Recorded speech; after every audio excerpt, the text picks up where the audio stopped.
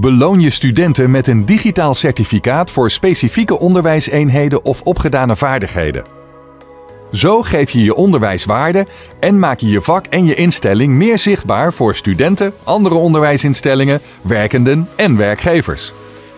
Hoe? Met EduBadges. Het platform voor digitale certificaten in het Nederlandse onderwijs en onderzoek.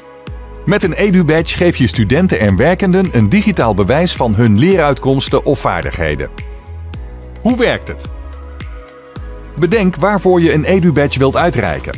Hoe neemt deze een plek in in je onderwijs? Voor curriculumonderdelen of onderdelen buiten het curriculum? Ga na of jouw plan in lijn is met de andere EduBadges-initiatieven binnen jouw instelling. Neem daarvoor contact op met jouw EduBadges instellingsadmin. De admin geeft je ook de nodige toegang en rechten en maakt je wegwijs in het platform. Start met het aanmaken van een EduBadge en beschrijf aan welke criteria je studenten moeten voldoen. Upload ook meteen een afbeelding. Dan volgt het uitreiken van de EduBadge. Er zijn twee manieren. Geef je studenten een inschrijflink en laat ze de EduBadge zelf aanvragen.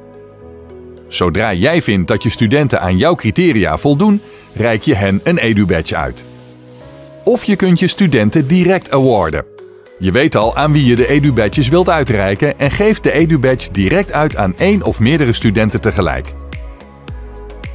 Het is belangrijk om studenten te informeren over de waarde van EduBadges, hoe ze deze kunnen verdienen en wat ze ermee kunnen.